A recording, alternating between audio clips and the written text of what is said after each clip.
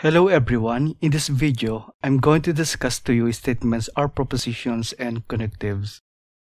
For the outline of our discussion, I'll discuss first statements are propositions. In here, I'll give you its definition, give you examples of statements are propositions, and give you examples of not statements nor propositions to understand the definition fully. Then we'll proceed with the discussion of the connectives. In here, for each connective, I'll identify it first and give you its definition, discuss to you its truth table and give you an English example to understand the definition of the connective fully. Now let's start with our discussion. Let us define first what is a statement or a proposition. A statement or a proposition is a declarative sentence that is either true or false but not both. So there are three important points in here. First, a statement must be a declarative sentence. Then it must be either true or false and then it can be both true and false. So, for a statement being a declarative sentence, let us elaborate it further. A declarative sentence is a sentence that declares or expresses an opinion.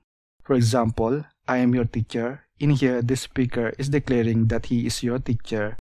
And in here, the sun is round. It is an example of a declarative sentence. In here, the speaker is expressing his opinion that the sun is round. Now, what are those that are not declarative sentences? Command sentences like run, look at this, these are not declarative sentences. Interrogative sentences, those sentences that ask questions like can you help me or what time is it, these are not declarative sentences. Exclamatory sentences like oh and what a car, these are not declarative sentences, thus they are not statements nor propositions. Now for the last two points in our definition, it must be either true or false, that is, a statement must be capable of being true or false and it can't be both true and false, that is, if a statement is true, then it can't be false and if a statement is false, then it can't be true. That is, a statement cannot be both true and false. Let us have examples to understand this definition fully. I live in Canada. This one is a declarative sentence. It is not a command, nor an interrogative, nor an exclamatory sentence. It is either true or false, that is, it is either you live in Canada or not. It cannot be both true and false, that is, you cannot be both living or not living in Canada. Then another example, my height is above 5 feet. This is a declarative sentence that is, it is not a interrogative, nor an exclamatory, nor a command sentence. It is either true or false, that is, your height is either above 5 feet or not. Not both, meaning that your height can be both above 5 feet and not above 5 feet. So, satisfying all the requirements in the definition of the statement or a proposition, this one is a statement or a proposition. Now, what are those that are not statements nor propositions? Please be quiet. This is a command sentence, therefore it is not a declarative sentence. Then it is not a statement nor a proposition. The number of kids in the garden. This one cannot be either true or false. It doesn't make sense that it is true that number of kids in the garden. And also, it is not a declarative sentence because it is not a sentence after all. A sentence must have a complete thought, that is, at least it has a subject and a predicate, and in this case it is a subject and it doesn't have a predicate. So it is not a sentence, therefore it is not a statement nor a proposition. Then 2x plus 5 equals 15. If x equals 5, then 2 times 5 equals 10 plus 5 is 15. Then this one will become true, but if x is not 5, let's say x equals 3, so we have 2 times 3 equals 6 plus 5 equals 11. Then this one will become false. Then the truth value of this one depends on the value of x. So it can be both true and false at the same time. Therefore, if we don't have yet the assignment of x, this 2x plus 5 equals 15 is not a statement nor a proposition. But if we assign x in here, this 2x plus 5 equals 15 will become a statement or a proposition. Now let us proceed with our discussions on connectives. Statements alone like those that I have provided cannot be very useful in mathematical logic unless you connect it with other sentences. So these connectives can be used to make simple sentences to a complex one. One of these connectives is the negation. It is defined as follows. Given a statement A, the negation of A denoted by not of A is true if A is false and false if A is true. So this one, not, this is the symbol for our negation connective. And what it does is inverse the truth value of A. That is, if A is true, then not A will become false, and if A is false, then not A will become true. So for an English example, let's say you have a statement, my cat's name is Curiosity. Let us designate it as statement A. Then not of A, which is applying our negation connective on A, will be my cat's name is not Curiosity. That is, it inverts the truth value of this statement A. So if this statement A is true, that is, my cat's name is indeed Curiosity, then this one will become false. That is, it is false to say that my cat's name is not Curiosity. Or if A is false, that is my cat's name is not Curiosity, then this one will become true. This not A will become true. That is, it is true that my cat's name is not Curiosity. So that is, this not A will just inverse the truth value of this A. So for our truth table for our negation connective, in this truth table, the first column enumerates all the possible truth values of A. From a definition of a statement, A can have a truth value of true or false. So we have here true or false, which are all possible truth values of A. Then not A, which is the application of the negative connective on A, will be inversion of these truth values in here. So if A is true, then not A is false, and if A is false, then not A is true. So this is the truth table for the negation connective. Now let us proceed with the next connective which is the conjunction. It is defined as follows. Given statements A and B, the conjunction of A and B denoted by A and B, so we have the symbol for the conjunction connective. It is true if both A and B are true, that is, this A is true and B is true. Then it is false otherwise, so it is false if either A or B is false. So we have this truth table for the conjunction. In this truth table, the first two columns contains all possible combinations of truth values of A and B. So A can be true or false, but when A is true, B can be true or false. So we have here A is true and true, and B is true and false. And also, whenever A is false, B can also have values true or false. So we have here true or false when A is false and false. Now let us fill up this column which stands for the truth values of A and B. Now from the definition, A and B is true if both A and B are true. So in this first row, both A and B are true. That is, A is true and B is true. Therefore, by definition, A and B is true. So we have here A and B is true. Then false otherwise, that is, if either A or B is false, then A and B is false. In the next three rows, either A is false or B is false. In the second row, B is false. In the third row, A is false. And in the last row, both A and B are false. So our A and B are all false in the next three rows. Then for an English example, let's say we have a statement, my father is a Chinese. Let us designate it as statement A. And my mother is an American. Let us designate it as a statement B. Then A and B, which is applying our conjunction connective on A and B, is my father is a Chinese and my mother is an American. So we'll just connected these two sentences by a word and. Now let us proceed with the next connective which is the disjunction. This is defined as follows.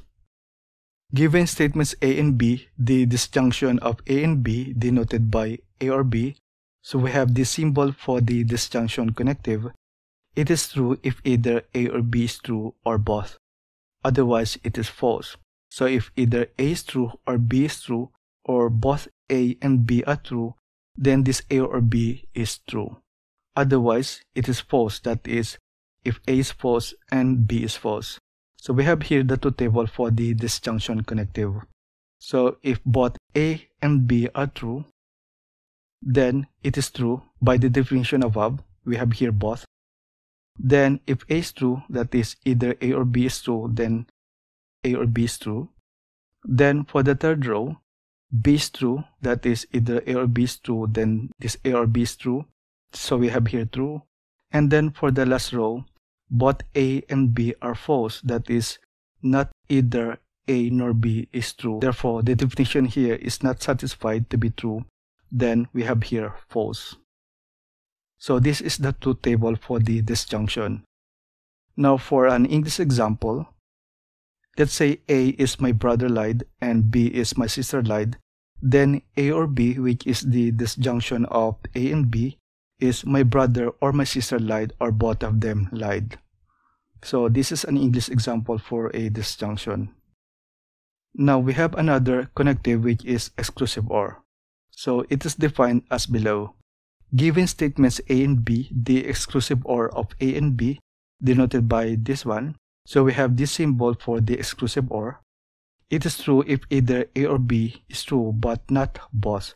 Otherwise, it is false. So unlike the disjunction connective, when both A and B are true, this is true but in here, in exclusive OR, when both A and B are true, this A or B is false. So for the truth table, for the second and third row, this is same with the disjunction connective that is either A or B is true. So these are true, the second row and the third row. Then for the first row, both A and B are true. In a disjunction connective, it is true, but in here, in exclusive OR, when both A and B are true, it is false, so we have here false. Then similar with the disjunction connective, when both A and B are false, this one is also false. So that is for the truth table for the exclusive OR. Now for an English example, let's say A is my brother lied, B is my sister lied. Then for the exclusive OR of A and B is my brother or my sister lied but not both. Either my brother or my sister lied, and they cannot be both be lying. Now let us proceed with the next connective which is the implication. It is defined as follows. Given statements A and B, the implication of A to B, denoted by A implies B, is false only if A is true and B is false, otherwise it is true. So let us have a truth table for the implication. So in here, A implies B is false only if A is true and B is false. So for the second row, a is true and B is false. Therefore, by definition, A implies B is false. So we have here false. Then we have here otherwise it is true. Then for other rows, it is true. So this is the truth table for the implication. Now let us have an English example for this implication. Let's say A is you got 100% in the exam and B is you got an A. Then A implies B is if you get 100% in the exam, then you will get an A. Let's say it is your professor's rule. That is, if you get 100% in the exam, he will give you an A. Let's say this A is true, that is, you got 100% in the exam, and B is true, you got an A. Then your professor's rule is followed. But if this A is true, you got 100% in the exam, and B is false, you didn't get an A, then your professor's rule is violated. Now what if A is not true? That is, you didn't get 100% in the exam. Now from the truth table from the previous slide, when A is false, A implies B is true regardless of the truth value of B. So, in our English example, if you didn't get 100% in exam, that is, this A is false, then your professor can give you an A or not without violating his rule. So this A implies B is true regardless of the truth value of B when this A is false. Now A implies B can be read in many ways. It can be read as A implies B, if A then B, if A, B, B if A, and so on. Listed in here are almost all of the possible ways to read this A implies B. Now let us proceed with the next connective which is the biconditional connective. It is defined as follows. Given statements A and B, the biconditional between A and B denoted by A if and only if B. So we have the symbol for the biconditional connective. It is an arrow to the right and to the left. It is true if A and B have the same truth values, that is, if both A and B are true or both A and B are false otherwise it is false. So for its truth table, in the first row, both A and B are true, therefore A if and only if B is true. In the last row, both A and B are false, therefore A if and only if B is true. Then for the second and the third row, A and B have different truth values, therefore it is false. So we have here false and false. So this is the truth table for the biconditional connective. Now for an English example, let's say A is I'll stay at home and B is it rains, then A if and only if B is I'll stay at home if and only if it rains. So if this A if and only if B is true, then if A is true, I stay at home, then it means that it rains. But if I didn't stay at home means that it didn't rain. So both A and B have the same truth values so to make this A if and only B to be true. So that ends our video on statements or propositions and connectives. I hope you enjoyed this video and the next video as well. Thank you for watching and don't forget to subscribe.